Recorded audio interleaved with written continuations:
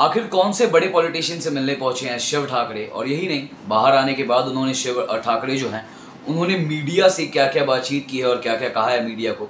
और किस, कौन से बड़े पॉलिटिशियन और आपको बता दें कि ये पॉलिटिशियन जो है, महाराष्ट्र में इनके नाम का दबदबा चलता है। और बहुत ही नोन पॉलिटिशियन है जिनको, अगर मैं मतलब कोई इंट्रोडक्शन की उनको ज़रूरत है ही नहीं। बहुत सिंपल सी बात है।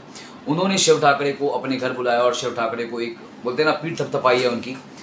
तो आखिर क्या बोला है उन्होंने शिव ठाकरे को आइए आपको देते हैं इस बारे में पूरी अपडेट। नमस्कार, आप देख रहे हैं फीफा फूज और मैं हूँ आपका अपना दोस्त और होस्ट कनीश कांत।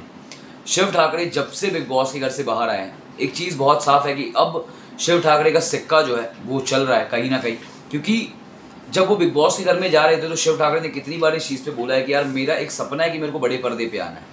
लेकिन अब शायद ये सपना जो है, साकार होता हुआ दिख रहा है। ये बात मैं नहीं, ये बात खुद शिव ठाकरे बोल रहे हैं कि अब शायद जो बड़े पर्दे वाला सपना था, वो साकार होता हुआ दिख रहा है। शिव ठाकरे जब से बिग बॉस के घर से बाहर आए हैं, तब से उनको सारी की सारी लाइमलाइट मिल रही है, सारा का सारा मीडिया अटेंशन मिल रहा है, और ये सारी चीज़ें ही तो थी जो शिव ठाकरे चाहते थे। और अब उनको जब ये सारी चीज़ें मिल रही हैं तो बहुत ज़्यादा खुश भी हैं वो। अभी हाल ही में शिव ठाकरे जो है, वो एम चीफ राज ठाकरे के घर पर पहुँचे थे। और आपको बता दें कि राज ठाकरे, ये शिव ठाकरे जो है, वो पहले कोई ऐसे कलाकार नहीं है जिनको घर पे बुलाकर अप्रिशिएट किया गया है। इसके पहले भी राज ठाकरे ने बहुत सारे आर्टिस्ट कलाकार लोगों को एक्टर लोगों को सिंगर्स को और रियलिटी शो कंटेस्टेंट्स को घर पे बुलाकर अप्रिशिएट किया है।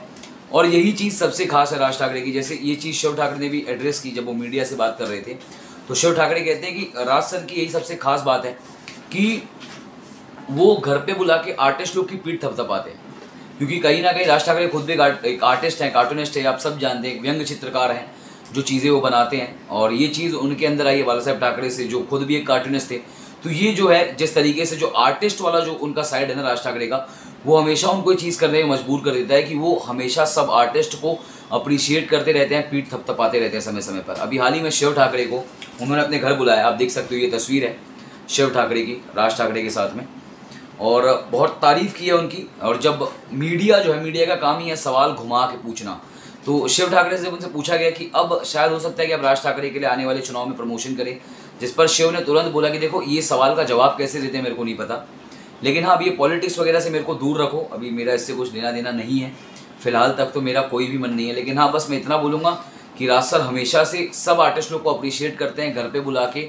और ये ज़रूरी भी होता है जब आपको, आप किसी गाँव से आ रहे हो, आपका सपना है और आप आके इधर अपना सपना पूरा कर लो तो होता है कि कुछ बड़े लोग हाथ आपके पीठ पे रहे हो तो थपथपाई ज़रूरी होती है।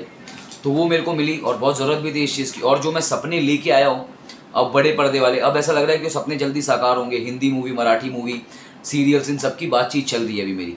इस बारे में आपकी क्या राय है, ज़रूर बताएगा मैं हमारे कमेंट सेक्शन में लिख कर। और इसी तरीके की और भी बहुत सारी अपडेट्स जानने के लिए बने रही हमारे साथ, यानी कि फीफा फूस के साथ। धन्यवाद।